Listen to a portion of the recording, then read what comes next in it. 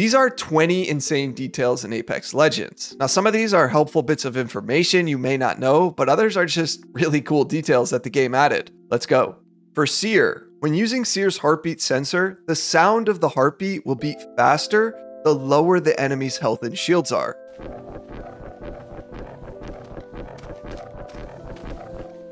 The slower the heartbeat sound, the more healthy those opponents are.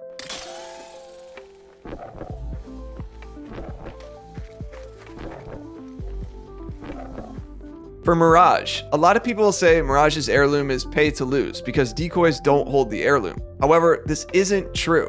Here's how it works. If you decloak or send out a decoy while holding the heirloom first, the clones do hold the heirloom. It's just that if you use his abilities while having a weapon out and then swap to his heirloom after, they're gonna spawn with whatever you were holding at the time of using it. So the decoys will not register a weapon swap or holstering to the heirloom. It will just spawn out with whatever you are holding when you use that ability. For Newcastle, when using Newcastle's ultimate ability, you'll notice that his perspective and his vision changes. And that's because Newcastle has a helmet on on every skin. So when you go to use his ultimate, it changes your perspective so that you're looking through the lenses of his helmet. I think this is such a good detail because it adds an aspect of realism to what the legend is all about. For Horizon, the gravity lift will never cut out if you're riding up it and haven't reached the top yet, no matter the timing of when you get on it.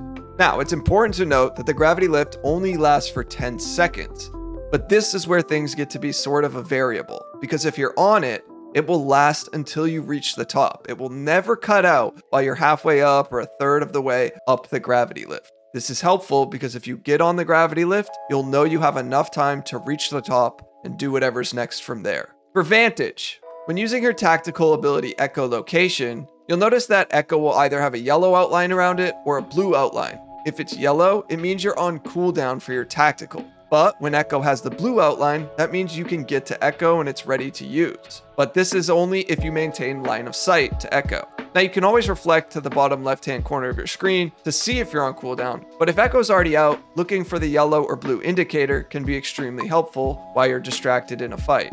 For Valkyrie, Valkyrie can see the champion squad with her passive HUD. As you're dropping into the match, if you free look around, you should be able to see all the nearby enemies highlighted in green squares. The champion team will have a CH next to their green square. Now let's talk about some of the weapons. Now all of the weapons have a built-in display configuration to show you how low you're getting in the magazine. Mostly this is shown by the actual number of bullets left remaining, but some weapons show a bar or a percentage that goes down while you're shooting the gun. When you equip a sight on the weapon, it may take away this perspective on the weapon model. However, it will add a new variation to this and display a smaller image of how many bullets are left, either on the weapon's sight or something similar. This can obviously be helpful as you're firing because you won't have to always move your eyes down to the right hand corner of your screen to see where you're at in the magazine. And reflecting on the UI image of where you're at could help you decide if you want or need to reload sooner. One of the most interesting display configurations is on the G7 Scout. This weapon has a built-in compass on the iron sights. Now, I'm not sure why it's there or if there's even a big reason why it's there, but it seems to be the only gun that has this. For Pathfinder, you'll notice Pathfinder has a small little blue or yellow circle within his cursor and this indicates if his grapple can reach whatever you're looking at and if it's ready off of cooldown. If you have the blue circle, then you're good to grapple. If you don't have the blue circle but you see a yellow circle, then what you're trying to connect to with the grapple is out of reach. However, if there's neither a blue or yellow circle, then you are currently on cooldown for that ability. For Bangalore, I still see a lot of players misunderstand how Bangalore's ultimate, the Rolling Thunder, works. So here's how it goes. The missiles come down and land in a 6x6 row pattern, with the maximum distance of 70 meters ahead from the flare. The first row will come down wherever you throw the flare to land, and from there, the first row of missiles will be the first row to explode. From there, it then sets off the rest down the line.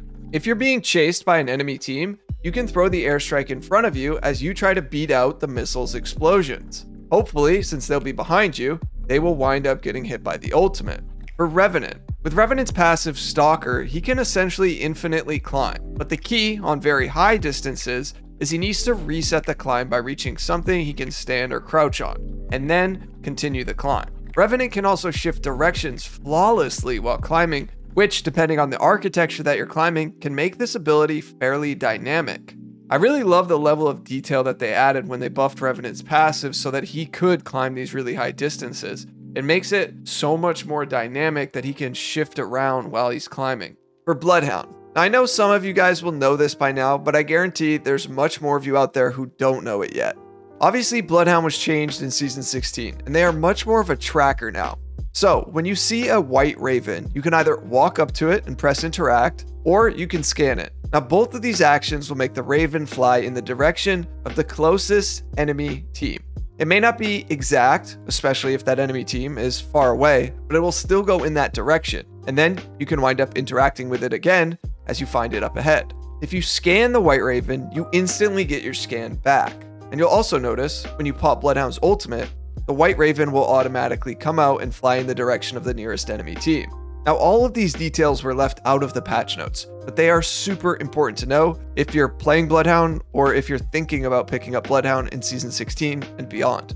Now on to some gameplay features that I absolutely love and I know most of you will appreciate too. Some of you may not know all of these though. We all know about the pinging system these days and how dynamic this feature is. But Apex was actually the first shooter game to implement this when the game launched. This feature changed how communication could work amongst players, and this was later added into other popular shooter games like Fortnite and Call of Duty. The kill feed in Apex is also known as the obituaries. And a few seasons back, they added the feature so that you could see which legend you just cracked. If you're firing at an enemy from a good distance and you crack their armor, but you're unsure which legend it was, look to the top right hand corner of the screen and it'll say enemy shield broken on whichever legend it was.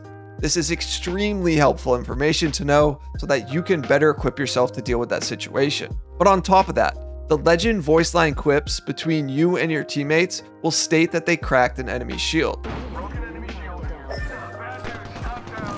This is extremely helpful for solo queue players because now you get to know what your teammates are actually doing, if they're effective with their gunfire, if they're not effective, etc. Another voice line quip that was added all the way back in season 3 was a voice line that your legend or a teammate's legend would say if you guys were getting third partied or if a third party was getting involved in your fight.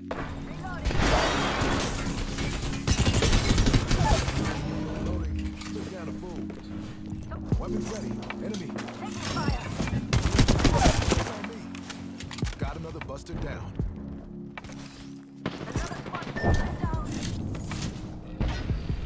Every legend has their own unique way of stating this, but they all do it.